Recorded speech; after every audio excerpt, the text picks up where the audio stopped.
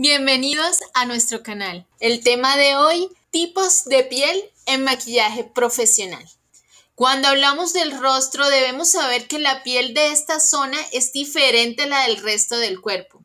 Varía en color, grosor y tacto.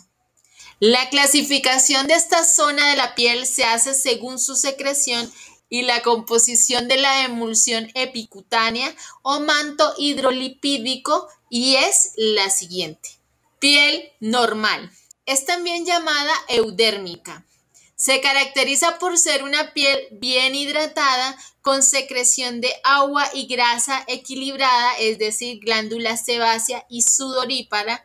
Es flexible y resistente. No tiene problemas con diferentes tipos de jabones y limpiadores y se adapta a los cambios de clima. Al sol se broncea moderadamente y se descama y regenera con normalidad. Piel seca. Dentro de la piel seca encontramos dos clases. Piel seca alípica. En este caso la piel tiene la secreción sebácea o la grasa disminuida.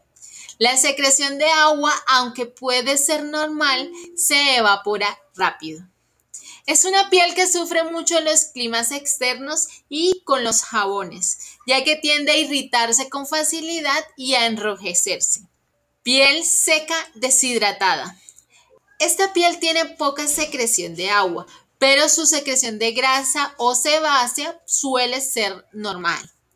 Es una piel que sufre mucho con el sol ya que se irrita y se descama con facilidad y tampoco recibe muy bien los diferentes jabones.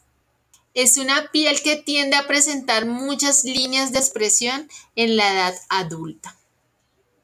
Piel grasa. Dentro de las pieles grasas encontramos tres subtipos. Piel grasa normal, esta piel tiene una producción de grasa abundante y a veces exceso de sudor. Son pieles que tienen mucha resistencia y por esto están siempre protegidas, así que soportan bien los jabones y la exposición al sol. Es la piel que más se conserva al envejecer. Piel grasa deshidratada. En este caso la secreción sebácea o grasa es abundante, pero el agua se evapora muy rápido. Es una piel que tiende a estar alcalina.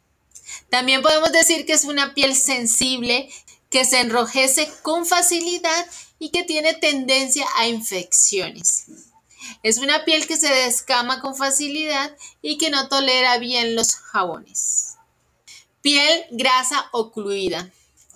Esta piel tiene la secreción de grasa alterada y en ocasiones puede presentar algunas zonas deshidratadas. Suelen formarse quistes y comedones ya que las secreciones taponan las salidas. Son entonces pieles con acné. Se irritan a menudo y no toleran muchos tipos de jabones. Se congestiona con el sol, pero suele resistir algunos cambios de temperatura. En algunas ocasiones puede presentar manchas. Piel mixta. Generalmente se presenta en este tipo de piel una zona grasa, que es la zona central o zona T, y en las otras zonas piel normal u otro tipo de piel. Piel sensible o reactiva. Es una piel que se irrita exageradamente ante casi cualquier situación. En ocasiones presenta alteraciones vasculares como telangiectasias o cuperosis. Se ven un poco tirantes, enrojecidas y a veces dan picor o se acaloran fácilmente. Piel envejecida. Son pieles que han perdido la vitalidad y firmeza por el envejecimiento, por lo que presentan arrugas. En esta etapa, las glándulas sebáceas y sudoríparas tienen menor actividad. Es una piel que no retiene bien el agua, se adelgaza y en ocasiones presentan manchas, alteraciones vasculares, etc. Y hasta aquí el tema de hoy. Gracias por vernos y recuerda suscribirte a nuestro YouTube activando la campana de notificaciones de nuevo video y seguirnos en nuestras redes sociales para toda la información de moda, belleza y asesoría de imagen. StylePoint.club, un punto de encuentro entre la moda y la belleza.